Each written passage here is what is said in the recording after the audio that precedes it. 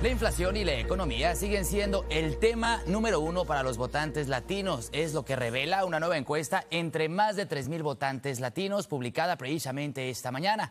La corresponsal de NBC News, Morgan Radford, se une a nosotros con más detalles. Morgan, esta encuesta también cubre otros temas. Platícanos, vamos contigo.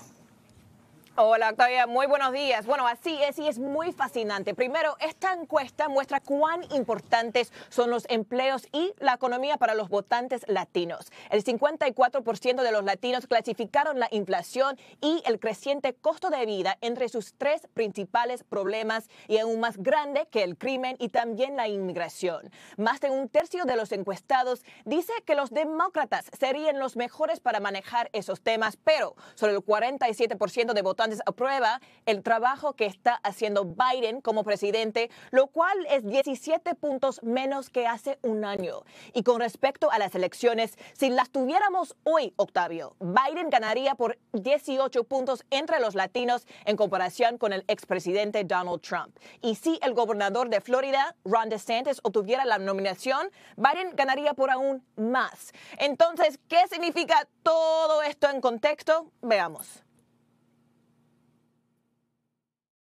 ¿Cuáles son los asuntos más importantes para usted? Para mí lo que me afecta personalmente es la economía y la economía en específicamente sería el precio de gasolina, el costo de la comida. ¿Y qué le parece el presidente, presidente Biden? Yo creo que la administración no se está enfocando en los problemas reales de los eh, americanos. Para mí, como esta generación que viene y los jóvenes de todos los Estados Unidos, para mí los problemas más importantes son los de la crisis climática y em, violencia de, armas.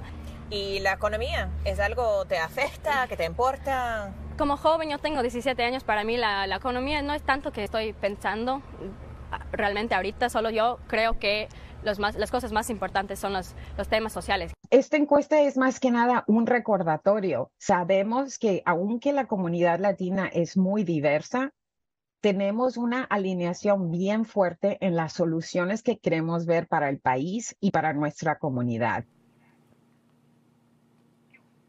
Bueno, súper importante porque según la nueva encuesta, para una mayoría de votantes latinos en siete estados claves, Biden sería el candidato por el que probablemente votarían. El único estado donde más votantes latinos apoyan a Trump es Florida. Y por supuesto, todo esto importa porque casi 35 millones de hispanoamericanos cualifican para votar en las próximas elecciones y todavía son el grupo racial y étnico de más rápido crecimiento en los Estados Unidos, Octavio.